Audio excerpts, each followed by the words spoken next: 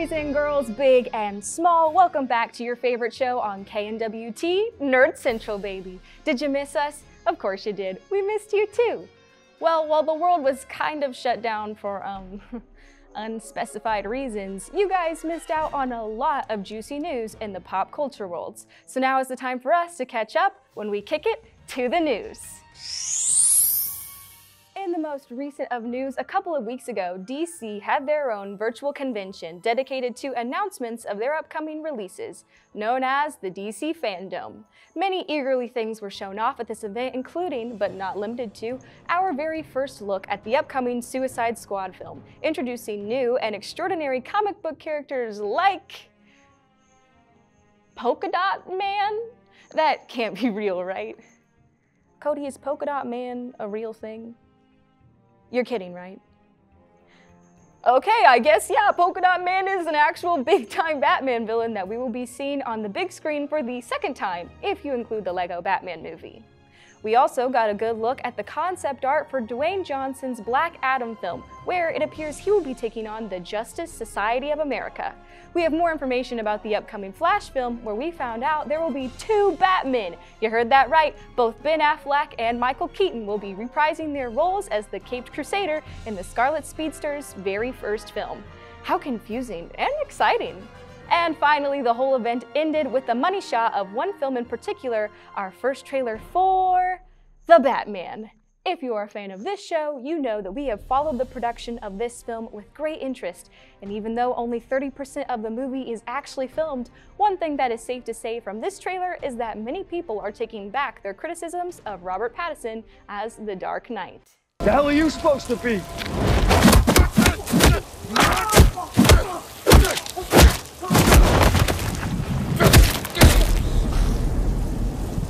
Vengeance. Hmm, there was one other thing that happened at DC Fandom, but I really don't want to bring it up at risk of triggering Cody. How about we go right into our first pack instead and experience our first dose of Sideburns with Kyle, followed by our newcomer Paige with B Rated. Take it away, guys.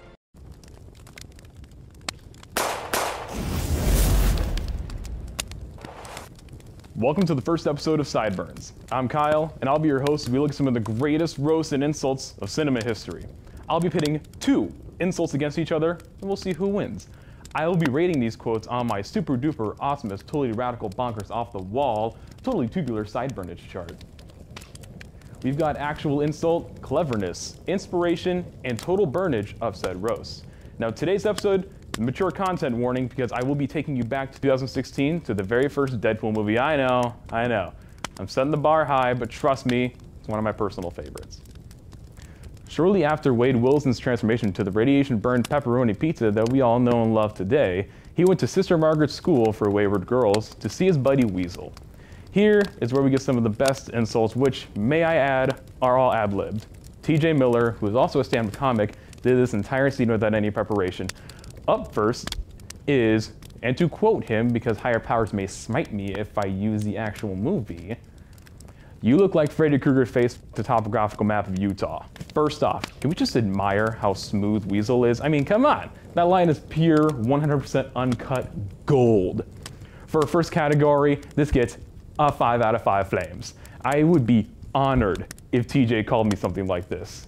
Coming up next in the category for cleverness, another 5 out of 5. I'm not a fan of topography. I don't think anybody is. But also, Utah is not my favorite state. I can't think of one memorable thing from my time in Utah.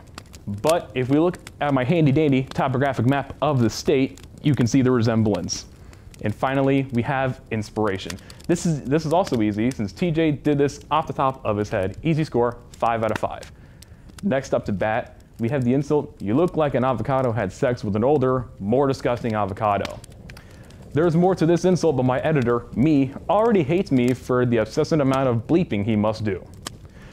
For our first category, this insult gets a 3 out of 5. Like the first, it really fits in with the scene, and have you seen a disgusting avocado?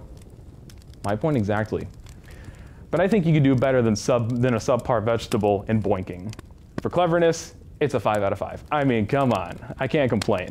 If you pull insults out of thin air, and have it sting like that one, you're doing something right. For the last category, inspiration, I'll also give this a 5 out of 5 since, like the first, it was ad-libbed. For total burnage, number one wins easily. While it was close in some regards, you can't beat the fact that number one is terrifyingly accurate. Once again, here's a map and Wade for comparison. Number one, we'll be moving on to the next round in the super duper awesome is totally radical bonkers off the wall, totally tubular burnage bracket, or as I like to call, it, Sadat Raj That's all the time I have for for today. Tune in next week where we're gonna get fast and furious. Till next time, I'm Kyle. Stay burned. Hello and welcome to B Rated, the segment of our show that reviews the best of the worst in cinema. I'm your host, Paige Jennings, and sitting in this week's hot seat is Hollow Tree Films' The VelociPastor. After simply hearing the title of this movie and looking at the cover, you can tell that this movie is really going to be something special. After losing his parents, a priest travels to China where he inherits a mysterious ability that allows him to turn into a dinosaur. At first horrified by this new power, a prostitute convinces him to use it to fight crime and ninjas. Oh, yeah, this'll be good. Viewers on Amazon Prime gave this movie a whopping 4.4 out of 5 stars, and after watching it, I can't say I blame them. Going into this, I didn't have high expectations for the movie. The concept alone was enough to catch my attention, and while it was an entertaining idea, I wasn't expecting much. The acting was nothing impressive, but the dialogue was so simple and straightforward that I couldn't help but laugh. You had weird lines like, It's what parents do. They die on you. China is East. I don't think we can do anything for her now. She's too far gone. Not to mention the best characters were actually the side characters. It wasn't their lines or their acting that made them great. Instead, it was just the character that they played. They had so many little actions that simply made it all worthwhile. The plot, no matter how ridiculous it was, stayed on topic throughout the movie. It even had a twist that no one saw coming, but there was no foreshadowing to this twist whatsoever. And that's what made it both surprising and out of nowhere. The cinematography was so random that it was funny. To transition scenes, the camera would pan around to nothing important during a crossfade. Sometimes the camera would linger on a character for too long or zoom in too long, which just made things awkward. But the best part of this movie was without a doubt the special effects. The special effects were so unrealistic and corny that they were nothing short of laughable. Whether the effects were meant to be cheesy or not, they really made the movie worth watching. Of course, we can't forget the star of this movie, the VelociPastor himself. It isn't until the final battle of the movie that we finally get to see the full dinosaur costume, and I must say, it was well worth the wait. It's great. Overall, this movie was a riot. My roommates and I were laughing the whole time, and while it's not a cinematic masterpiece, it was certainly worth the 70 minutes it took to watch it. With its corny lines, cheesy special effects, weird camera angles, and several other aspects that I didn't even get to talk about. the VelociPastor sure earned a special place in my heart. So when should you watch this movie? I recommend watching this movie with a group of friends or even a cute date. The more the merrier. It's certainly something that you can laugh at over and over again, and the jokes will never get old. This has been our review of The VelociPastor. Tune in to Nerd Central for next week's episode of B Rated, where we review Killer Sofa. Thanks for watching. Thanks, guys. We're going to take a short break, but when we come back, we'll hit you with more juicy news. Stay tuned.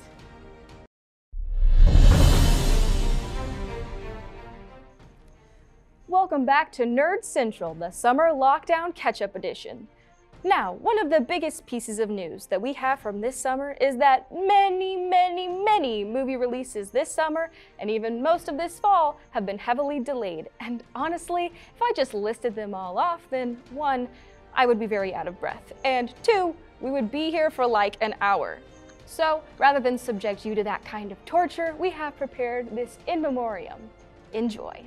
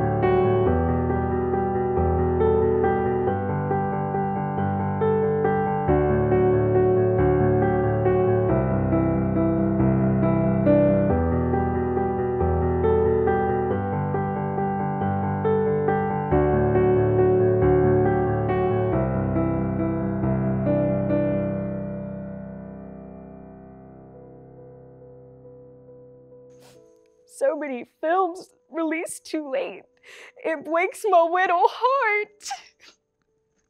I guess it's time to talk about the thing I'm sure you all expected to be announced on this show. For three years now, DC fans, disappointed with the Justice League film, have taken every opportunity they can to shout, Release the Snyder Cut! Well, they're all going to have to subscribe to HBO Max in 2021. It's official, Zack Snyder's original vision for the Justice League film will be released in.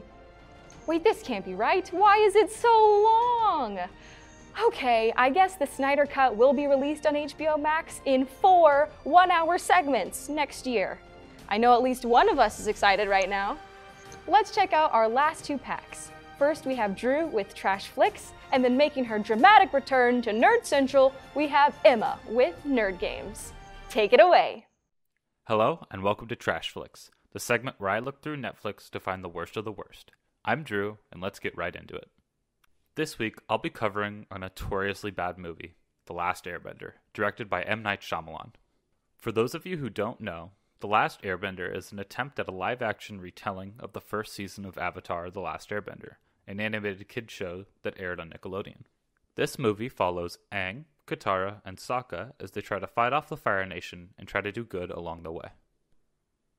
The Last Airbender has many huge flaws that make the movie almost unwatchable. This isn't even bringing up its unfaithfulness to the original source material. The acting in this film is terrible. The lines are delivered in a way that makes the characters unlikable, and the characters act nothing like their animated counterparts. In this movie, Aang is almost unfeeling, and he reacts to things like a cardboard cutout. The casting itself is also seen as a major issue. The story takes place in a fictional world that is inspired by ancient China, but almost all of the main characters are white. It just doesn't make sense, so everyone looks out of place. The pacing of the movie is one of the largest issues overall. The film tries to shove an entire season's worth of content into a single movie, so the events seem rushed and the overall pacing is all over the place. One moment they're having a heartfelt conversation, and the other moment they're being attacked by the Fire Nation with absolutely no buildup. All of these issues are bad, but I feel the main reason this movie is so bad is the failure to be faithful to the source material. Constantly, there are things being changed for no reason. One example is that the characters' names are pronounced different for no reason at all. Aang becomes Ong, and Iro was pronounced Iro. None of this makes any sense. Other inconsistencies are the characters' personalities. Instead of the characters being adventurous kids trying to save the world, they act like entitled brats who think they can have whatever they want. The biggest offense is Aang. In the show, Aang is a happy go lucky kid that is hesitant to fight anyone and will try to end things peacefully. His movie counterpart, however, is a stoic and almost heartless cutout that is willing to do anything to get what he wants, including berate and insult the people around him.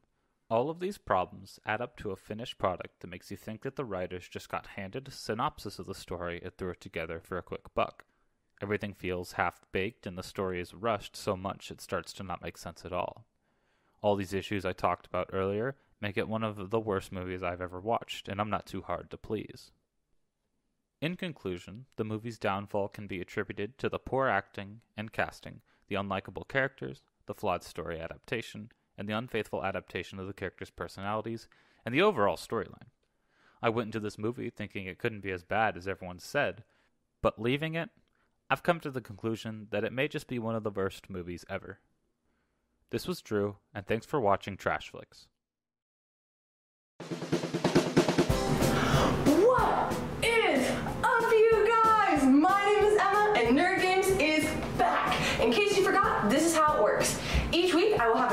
Nerdy guest to play a new nerdy game. It's pretty self-explanatory. As you can see, I'm not in the studio this week. That's because I will be playing Bookshelf Scavenger Hunt. Me and my guests will each have one minute to find all the books on the list. Please help me welcome this week three special guests. My mom, Tracy, my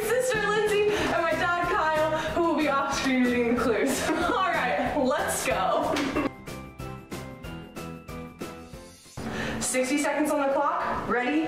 Go. Find a book with illustrations in it. It is Oh, Mom! Find a hardcover book with a jacket. a book with a sport in it. Sport? No, Lexi. Any book that does not have a battle scene in it. Any book with a tiara. Wait, Any book featuring a girl with red hair. Find an author, name, or title with the letter X. Any book with a cover of a body part only. Does that count? Find a book that has a male protagonist. A book that takes place in Europe. Find a book that has a pet. oh wait, oh no, a pet, a pet. Kansas City has a pet. Find a book with lightning on the front. Find a book with any aquatic scene on the front.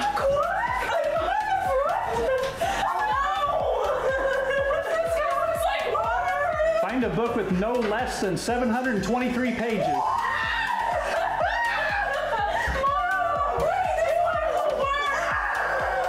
Any, any book with some kind of bird on it.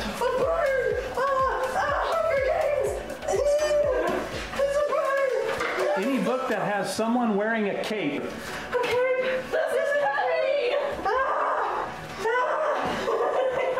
Any book with a bridge on the cover. I think your timer's not working. Is it?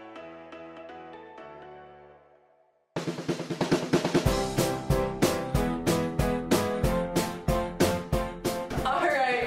Thank you so much for tuning in. Join us next week for a new nerd game. that was everybody.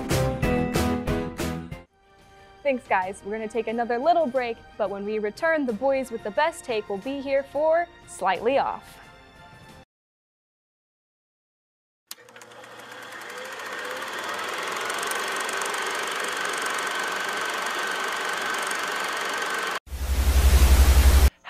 Hallelujah, am I right? yeah, yeah, I know, I'm not the best take. I'm a quarter of the best take. That's probably an efficient amount of best take that you really need for this part. Um, I'm here because, well, let's be honest, there wasn't any movie stuff to talk about for best take. Everything's canceled. Uh, even if there was movie stuff, we can't go. Every every every episode would be like, should you go to the movie theater? No, because epidemic. But I got cut off during uh, a little segment of Nerd Central I had last semester known as the DC Defender. I didn't get to a certain a certain movie called Justice League. Oh man, and if I would have gotten Justice League, I would have torn it to shreds. Yeah, that's right. There's a DC movie I don't like. You know why?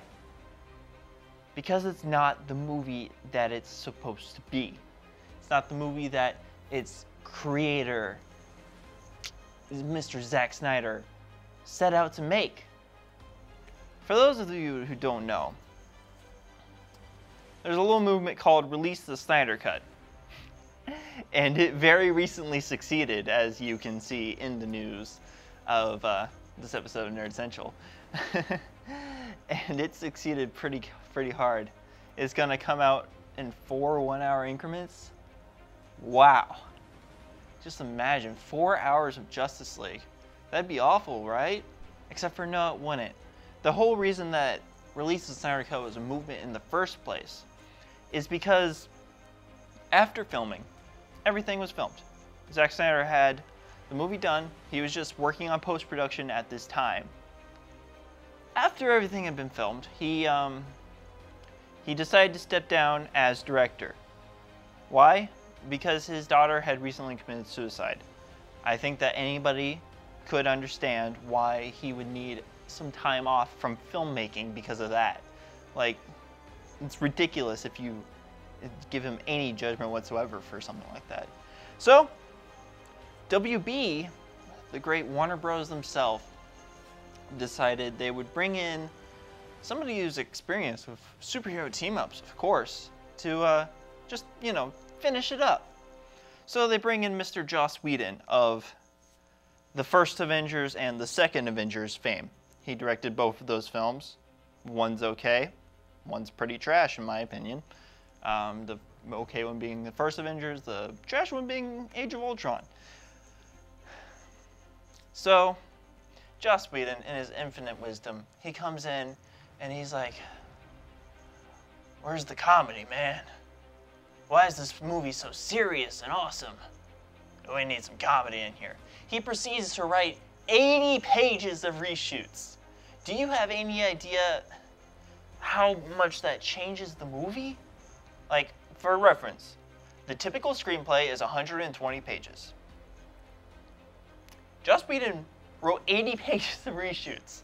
That's that's almost an entire movie, and it's it shows. It really does, because in the final product, not only did he trash all over this beautiful film, he weirdly color graded the things that he actually kept in from Zack's version and, put it from a normal looking gray sky to this ugly red tint that he put on every character and everything involved. And it was disgusting. Every time I saw something like, oh, where's that from the trailer? Where's that from the trailer? Where's that and that and that from the trailer? You know why there's so much missing from the trailer aside from 80 pages of reshoots? Uh, that's because WB issued a mandate that the film had to be under two hours long. Now remember, the Snyder Cut, which is coming out on HBO Max next year, is four hours long. WB cut the runtime of Justice League in half and rewrote, I don't know, I think about maybe 15% of Zack's original scenes actually got into the film. But luckily, Zack Snyder has gone to Twitter and stated that he will burn the whole thing to the ground before he uses a single frame of Joss Whedon's footage. You know how I feel about Man of Steel. Man of Steel was a masterpiece that got me actually interested in the character of Superman, a character who had nothing to me because he was so perfect and had virtually zero flaws. Man of Steel made him a flawed character and made him appeal to me. Batman vs. Superman, the most accurate Batman we've ever had on screen with Ben Affleck. His brutality, his angst, everything was perfect. And then we have Justice League. With the reshoots, Ben Affleck was in different levels of health, and it was clear with every scene. Um, the Flash, who is my favorite character of all time, was a um, Spider-Man wannabe, and just what did they do to Cyborg?